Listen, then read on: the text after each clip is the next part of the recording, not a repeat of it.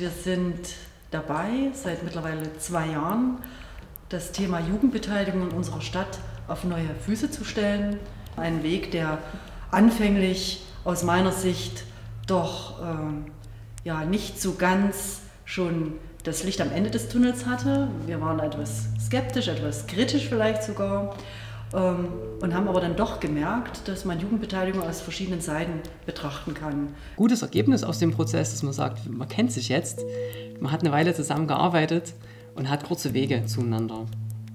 Jugendlichen sind sensibilisiert worden durch die demokratischen Prozesse. Wie funktioniert sowas? Und ich denke, dass gerade dort auch ein Grundstein gelegt wird für, für späteres Engagement. In meinem ersten Interview habe ich gesagt, der Nebel, der Nebel verfliegt. Einerseits habe ich das Gefühl, dass der Prozess zu lang war. Andererseits habe ich aber das Gefühl, wir haben die Zeit gebraucht. Wir haben eigentlich im Hintergrund versucht, die Jugendlichen zu betreuen, manchmal auch ein bisschen zu bremsen und zu zeigen, die Realität ist anders als das, was sie sich da vorstellen. Und aber auch Mut zu machen, wenn es dann doch zu viel aussah, diesen riesen Stadtjugendtag zu stemmen und immer wieder die Termine auch zu liefern, dass die Jugendlichen dranbleiben, am Ball bleiben.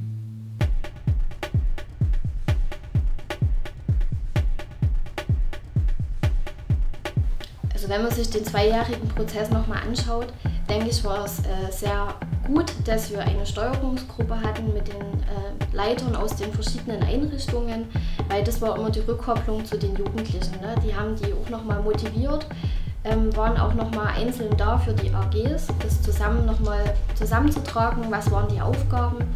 Das ist sehr gut gelaufen und dass wir uns einfach in dem Prozess immer wieder reflektieren konnten.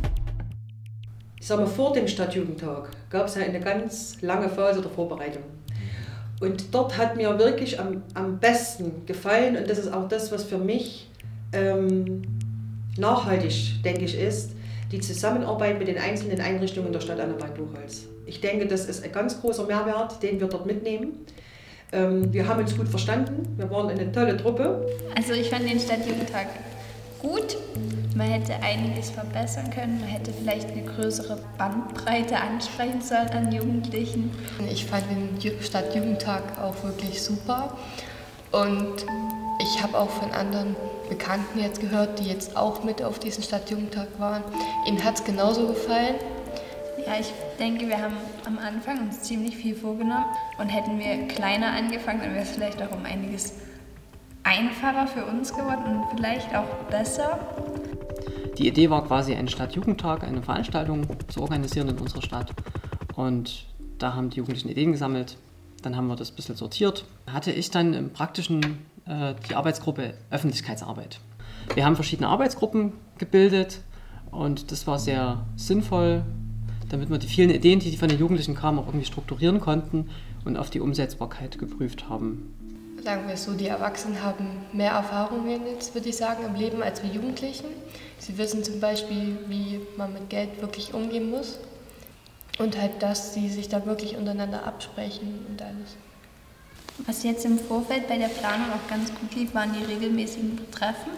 Und das ist besser, also die Erwachsenen haben da vielleicht einen besseren Überblick, ja, was ist jetzt erstmal wichtiger und können uns das auch vorgeben. Und das hilft uns ja, wenn wir uns an diesen Leitfaden orientieren können.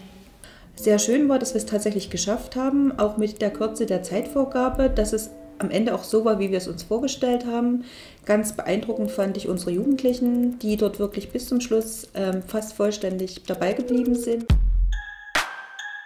Sehr gut, dass vor allem die Jugendlichen selber da halt ähm, gesagt haben, was sie machen wollen, was sie gut finden weil das natürlich die Leute sind, die da besser ähm, einen Einblick haben, was, was interessiert Jugendliche gerade, was, was ist da gerade in, was kann da Leute begeistern, was kann da Leute anziehen, als ähm, jetzt erwachsene Leute.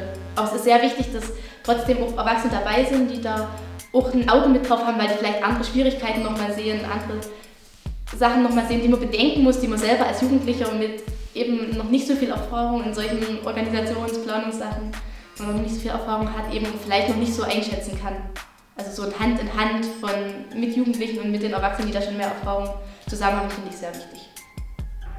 Für mich sehr erstaunlich, welche Ideen die Jugendlichen selber dort eingebracht haben. Also ich wäre vielleicht als Erwachsener vom Schreibtisch aus in eine ganz andere Richtung marschiert, sage ich. Sie haben selber gelernt, ähm, den Tag demokratisch zu entscheiden, wann beginnt man äh, eine Veranstaltung und das alles in einem demokratischen Prozess. Man bespricht alles, man diskutiert alles und man findet sich dann auf dem kleinsten gemeinsamen Nenner wieder.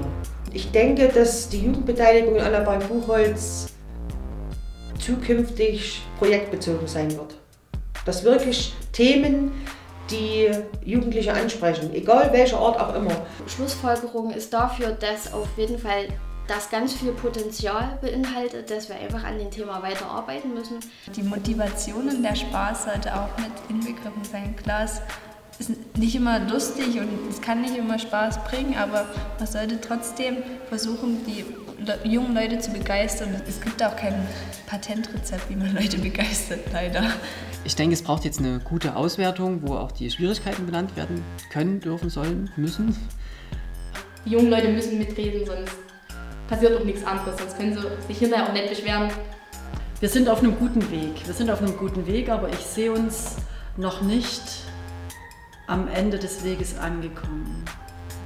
Ich, ich aus der heutigen Sicht denke, dass wir unseren Prozess hätten nicht so gut abschließen können, wenn es nicht den Kinder- und Jugendring Sachsen gegeben hätte und wenn es nicht den Kreisjugendring, das flexible Jugendmanagement, die Melissa Roger gegeben hätte.